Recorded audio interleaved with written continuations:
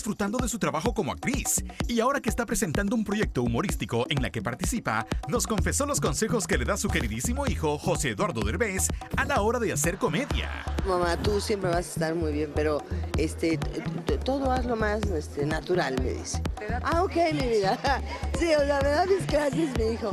Este, se lo agradezco mucho porque sabes que este, siempre hemos sido así. Eh, cuando él trabaja yo le digo, eh, trato de darle algún consejo, ¿no? Y ya que estamos hablando de José Eduardo, Victoria Rufo fue cuestionada por el padre del joven Eugenio Derbez, con quien tiene una relación cordial por el bien de su hijo, a pesar de las últimas palabras que le dedicó su ex.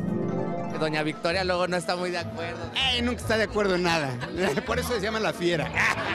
que se ponga a trabajar en este, las arpías, que está muy buena. Bueno, sí, ya sabe que soy una fiera y que soy una arpía también y soy una hija de la guayaba. Eso sí, ya lo sabe. Entonces no lo supera. Eso es lo malo que ya hay que superar las cosas, ¿no? Sin embargo, y a pesar de que en el pasado la Rufo llegó a acusar al comediante de no haber sido un padre presente en la vida de su hijo, parece que ahora la situación cambió.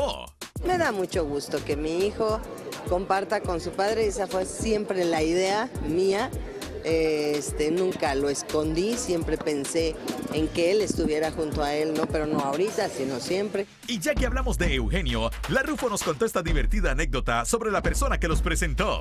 Pues su mamá. Su mamá fue la que me dijo que me, me lo recomendó. Ella hablaba bien de su camello. ¿ves?